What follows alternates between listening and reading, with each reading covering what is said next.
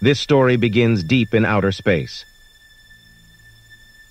The year is 7996. The planet Earth has been destroyed by the evil galactic dictator Cronus, its remaining civilians aboard the only terrestrial spacecraft in the galaxy.